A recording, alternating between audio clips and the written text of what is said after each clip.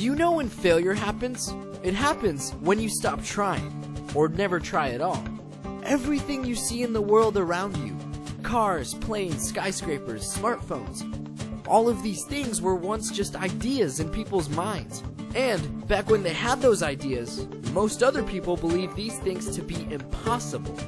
It was when someone believed they were possible that these things became possible. Their creators started working on them, often making mistakes and failing many times, but never quitting. Because they kept trying, they eventually did what they once believed to be impossible. Your life is just like this. You can be whatever you want to be, even if others don't think you can. You just have to believe it's possible. No can't, won't, or shouldn't. I can, I will, and I should is your new language. Dream big, embrace your wonderful imagination, stay positive, and keep trying. And when you come up short, don't give up.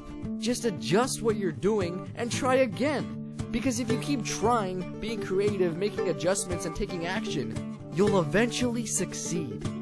All your dreams can come true if you have the courage to believe that everything is possible.